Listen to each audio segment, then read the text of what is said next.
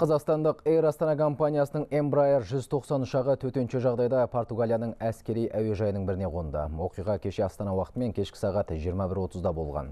Техникалық тексерістен өткен ұшақ әуеге көтерілген кезде басқару жүйесінен ақау шыққан. Сөйтіп, экипаж дереу Лиссабон әуежайынан көмек сұрайды. Нәтижесінде әскери ұшақтар қолғабыс етіп, Бежа әуежайына қонуға жәрдемдеседі. Айтарлықтай зардап шеккен ешкім жоқ, алайда екі адамға дәрігердің көмегі қажет болған. Air Астана өкілдерінің айтуынша компанияда мұндай жағдай бұрын соңды болмаған. Ал ұшақтың төтенше жағдайға ұшырауы Португалияда жасалған жөндеу жұмыстарының сапасыздығынан болуы ықтимал дейді компания басшылары. Қазір оқиғаға қатысты тексеру басталды.